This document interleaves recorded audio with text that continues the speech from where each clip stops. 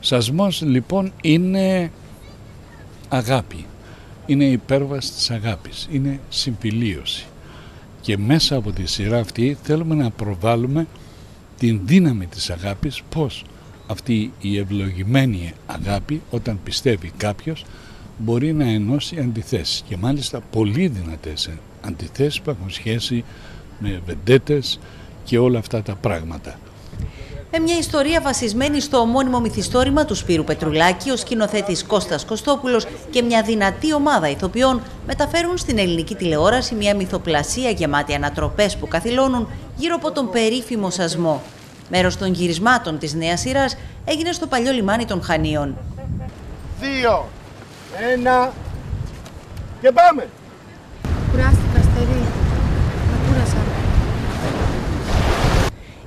Χρόνια μετά την τελευταία βεντέτα μεταξύ δύο οικογενειών, η Αργυρό επιστρέφει και ο ερωτάς της με το γιο του Φωνιά Αστέρι θα ξυπνήσει πάθη και εφιάλτες του παρελθόντος. Θέλουμε να υπάρχει στην κριτική κουλτούρα και να συνεισφέρουμε περισσότερο η έννοια του σαρσμού και λιγότερο η έννοια της βεντέτας. Να δίνουμε δηλαδή συγχώρεση, να αφήνουμε τα πράγματα, τα μίση και τα πάθη να μένουν στο παρελθόν και να γυρίσουμε μια καινούργια σελίδα από μηδενική βάση γιατί το μέλλον είναι η αγάπη και ο έρωτας. Κι άλλο λίγο. Έτοιμοι για τελευταία τάκα και 3, 2, 1. Πάμε! Φωτίζονται πράγματα, σχολιάζονται, παίρνει θέση με κάποιο τρόπο η σειρά. Βλέπεις χαρακτήρες οικείους, ανίκιους, αναλόγως ε, και ε, ανα, ανατροπές, έρωτες, ίντριγκες, ε, πολύ Κρήτη, Ελλάδα και πολλά άλλα που αν τα πω νομίζω δεν θα το δει κανείς γιατί θα μαρτυρήσω πράγματα τα οποία είναι, έρχονται και ανατρέπουν αυτό που πιστεύεις ότι ισχύει στη σειρά. Αλλάζω και χέρι. Να τους ξέρεις αυτούς. Δεν μπορώ να αλλάξω χέρι, έχω και αυτό. Δεν πειράζει, θα τα αλλάξει αυτό μαζί. Θα είσαι εδώ και θα αλλάξει μετά. Πρόβα. Καταρχήν είμαστε πάρα πολύ χαρούμενοι που είμαστε εδώ.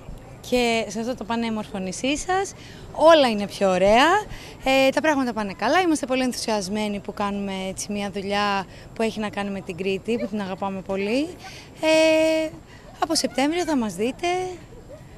Ε, μέχρι στιγμής πάνε όλα πολύ καλά. Είμαστε πολύ χαρούμενοι. Για το σασμό, τι θα λέγατε, αν σας ρωτούσε ένας τηλεθεατής, τι πρέπει να περιμένουμε να δούμε στις οθόνες μας τον Σεπτέμβριο; Θα έπρεπε να τους εξηγήσουμε τι πάει να πει σασμός, μην κοιτάτε εσείς που τα ξέρετε. Ε, οπότε θα του έλεγα ότι είναι ένα φτιάξιμο μετά από μια βεντέτα, ε, το σμίξιμο των ανθρώπων μετά από μια βεντέτα.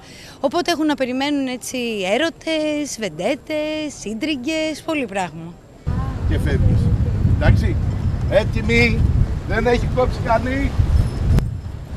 Τέλος τον κύκλο αίματος και εκδίκησης δίνει ο έρωτας με μια ιστορία γεμάτη εντάσεις, πρόσωπα που αντανακλούν υπαρκτές αγωνίες.